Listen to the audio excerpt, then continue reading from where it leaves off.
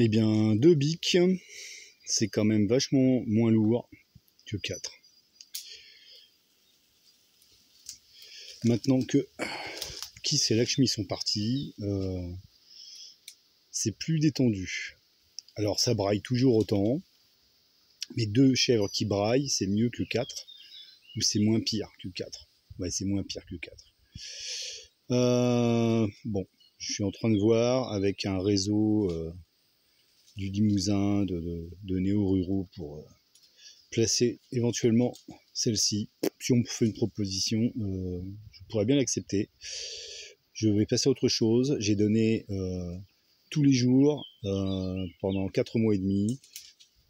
Ça m'a épuisé, déçu les illusions que je me faisais sur euh, l'autonomie, euh, enfin en tout cas une petite autonomie alimentaire, euh, se sont envolées. Hein. Pour ce que m'a coûté cette histoire, à peu près, je sais pas, entre 2000 et 2500 euros. J'aurais pu manger du cretin, un cretin, tous les deux jours pendant 5 ans. Ouais, je me suis amusé à faire des calculs. à peu près, quoi.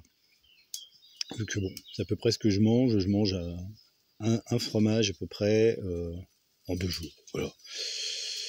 Euh, donc voilà. Pour le euh, je suis en phase de décompression. Donc voilà, je m'en fous. Je fais ce que j'ai à faire avec, mais bon, voilà, ça suffit quoi. J'ai assez souffert. Si elles partent, elles partent. Si elles restent, j'aviserai. Euh, bon, de toute façon, Lakshmi est une emmerdeuse. Hein. Euh, Rada, elle, est plus angoissée, ce qui fait qu'elle ne s'éloigne jamais trop de moi. Enfin, en tout cas pour l'instant. Euh, Câlin, bon, bah, c'est un, c'est un bouc castré, donc bah, on verra. De toute façon, je peux pas laisser Rada toute seule.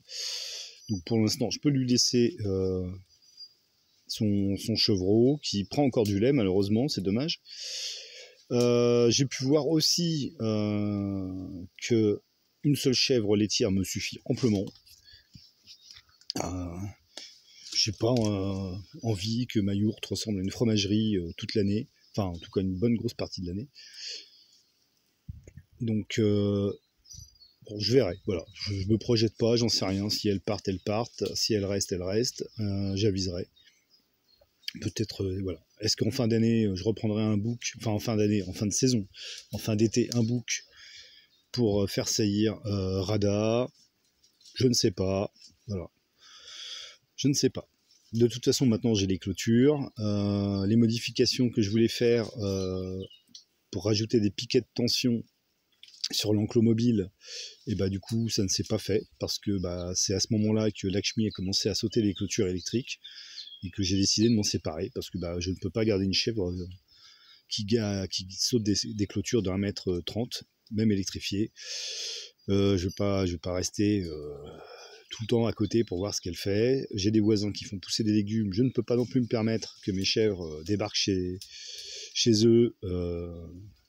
j'ai déjà, non, j'ai déjà assez de, de, soucis à rester tranquille dans mon coin.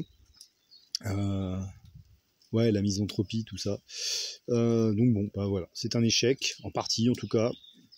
J'ai acquis de l'expérience, une expérience très différente de celle que j'avais euh, obtenue en, entreprise. Pourtant, 24 euh, ans avec des chèvres, c'est pas rien. Mais là, ça n'a vraiment rien à voir, absolument rien à voir. Enfin, si, il y a des choses communes quand même, mais pas tout. Donc bon, voilà, j'en suis là je suis là j'arrive à en parler euh, sans, sans, sans, être trop ému bon voilà c'est vraiment pas un truc euh, que que j'aurais dû faire bon bah ça fera partie des grosses conneries de ma vie ça faisait longtemps que j'en avais pas fait ouais ouais ouais toi tu m'as bien eu toi hein. toi tu m'as bien eu toi dès le départ t'as tout fait en sorte pour que je me débarrasse pas de toi quoi Ouais. Petit malin, va.